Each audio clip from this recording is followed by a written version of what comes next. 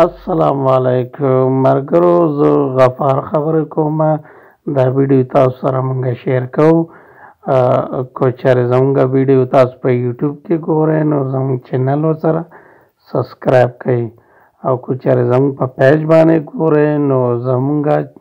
پیج ورسره لایک کړئ نو انشاءالله چې څومره ویډیوګانې دي هغه به تاسو ته ټایم په ټایم باندې در راسي دا اوس تاسو سره مونږ د سټیل په باره کې دا د سټیل او د لنټر په باره کې دا ویډیو تاسو سره مرګرو مونږه شیر کوو دا اوس دې وخت کې دا کوم چې تاسو ته ښکاري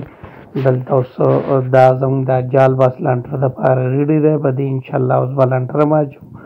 دا کوم ځایونو کې زموږ فاصله ډېره زیاته ده په دې ځایونو کې زموږ ډبل جال دی په دې کې موږ ډبل جال تړلی دی په دې کې انچه او شپږ سره سریه ده چې کوم ځایونو فاصله سیوا ده دا وینې دا ځینه ټول دې کې ډبل جال دی او دا تاسو ته ښکاري دا ټول ډبل جال دی او کم ځایونو باندې چې فاصله کمه ده په هغې کې زمونږه سنګل جال دی د هغې تصویران به تاسو ته مونږ وښیو چې مونږ په کوم شکل کې تړلی دا ځینې چې تاسو ته ښکاري دا اوس دې ځینو کې ډبل جال دی او د دې شکل دغه شان راځي دا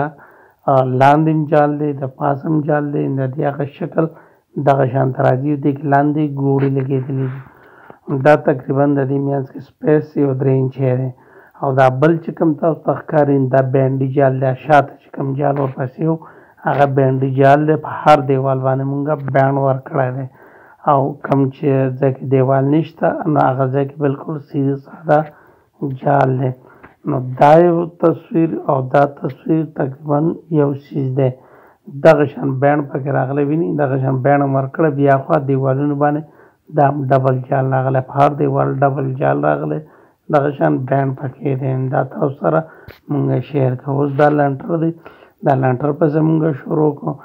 ان شاء الله دونه حصه لنډه شوې ده د خو پاتې ده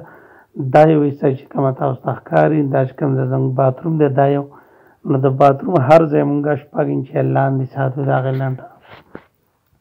اوس دا زموږ ملګري لګی دی لنډر ډکوي انشاءالله دا تاسو وګورئ او ملګرو سره هم شیر کړئ چې مونږ په کومه طریقه باندې کوو بل دا چې کوم دې تاسو ملګرو یو کوشش کوئ دی دا کوم لار تاسو ته ښکاری دا پکې زیات ما جوړوي دا د لنډر د پر نقصان دي چې څومره کوم لار جوړوي بلکې چې نه جوړوي نو زیات پاده من دی تاسو د پر نو دا لنډر د پر ډیر نقصان غونډه کوي بل دا تاسو سروسکاری دا چې کوم ډاک شه دا د شپږ انچ هم لنډر نه لاندې دی دې کې دا چې موږ کله باتروم کې پیپونه لګو او پیټرې به لګو دا به کې په صحیح طریقه باندې لګي نو دا مخامخ لپ لګېدلې دی به دې ته مال راخېږي او انشاءالله لنټر ډکېږي دا اوس دا دومره ځای وشو بل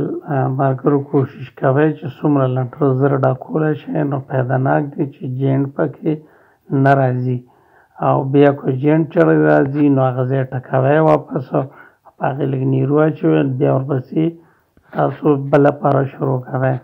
نو سونه زر دنه کیږی او په مطلب دا دی دا په تیزی سره کیږی نو لنټر مضبوط والی سیوا راځی. نو دا ویډیو ان شاء الله تاسو وګورئ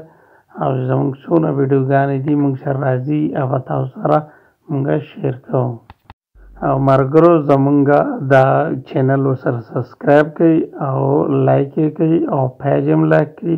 او مرګرو سره هم شیر کړئ زموږ څونه ویډیوګانې دي ان شاء الله به ټایم په ټایم تاسو ته در راشي